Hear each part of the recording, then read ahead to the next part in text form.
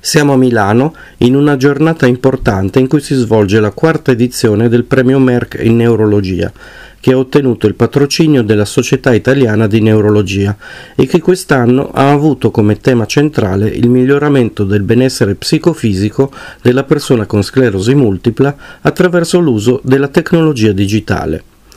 Conosciamo subito i vincitori e i protagonisti della giornata.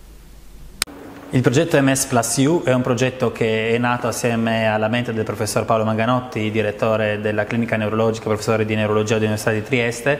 per trovare il modo di aiutare le persone con sclerosi multipla a combattere i sintomi caldo correlati. Sintomi che sono presenti molto spesso nel 60-80% delle persone con sclerosi multipla e che hanno un forte impatto sulla loro qualità della vita. Il sistema MS Plus U è un'applicazione mobile che sarà disponibile eh, principalmente per Android ma in futuro anche su tutte le altre piattaforme che attraverso l'utilizzo di parametri eh, di individualizzati e un algoritmo specifico potrà stimare il rischio di, tempera di, di temperatura elevata e quindi di sintomi caldo correlati. Con questo il paziente riceverà delle informazioni che serviranno proprio a evitare che quei sintomi provochino degli effetti negativi sulla loro salute, combatterli, possibilmente annullarli del tutto e quindi poter avere una vita all'aria aperta e in condizioni che si fanno sempre via via più impattanti, libera, felice e priva di fatica.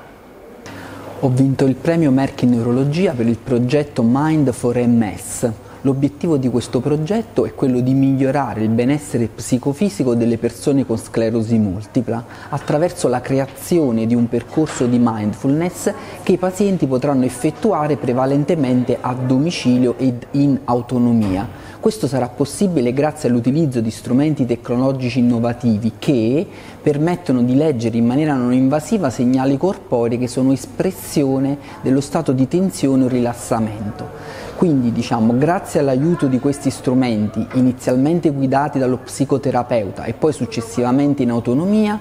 le persone impareranno a riconoscere i segnali che gli manda il proprio corpo e attraverso la pratica della mindfulness ad aumentare il loro senso di benessere psicofisico. Inoltre, molto importante, attraverso un'app connessa al dispositivo potranno interagire con i propri curanti e quindi condividere gli obiettivi raggiunti e fissare nuovi traguardi ma anche attraverso la creazione di una community virtuale interagire e comunicare con gli altri pazienti che partecipano al percorso in modo da condividere le esperienze non solo legate al progetto ma più in generale al vissuto legato alla loro malattia.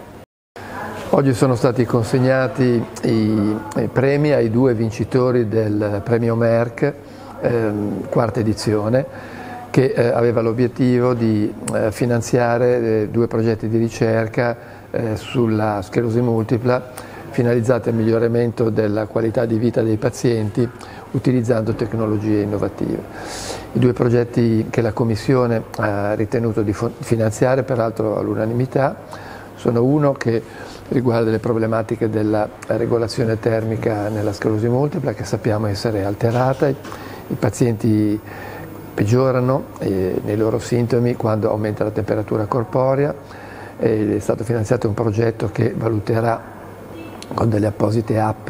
l'aumento della temperatura corporea dei pazienti, ma darà anche dei consigli di come risolvere questo problema almeno temporaneamente. Il secondo progetto riguarda l'aspetto eh, di mindfulness, quindi la terapia cognitivo-comportamentale, e di nuovo qua ci sono dei device, degli strumenti che permettono di informare il paziente sulla propria contrazione muscolare, sull'attività EEG, sulla frequenza del respiro, sulla frequenza cardiaca, in maniera tale che il paziente possa controllare questi eventi e eh, potersi concentrare sul presente, su se stesso e su questo tipo di terapia cognitiva comportamentale. Quarta edizione del premio Merck, un'azienda che vuole essere paziente centrica deve lavorare a iniziative come questo. Non soltanto quindi l'azienda deve sviluppare dei farmaci sempre più efficaci e più sicuri per il paziente, ma sviluppare una serie di servizi che possono essere a supporto dei bisogni dei pazienti e dei loro cari. In tutto questo l'innovazione tecnologica digitale svolge un ruolo chiave per l'abbattimento di queste barriere di pazienti affetti da sclerosi multipla.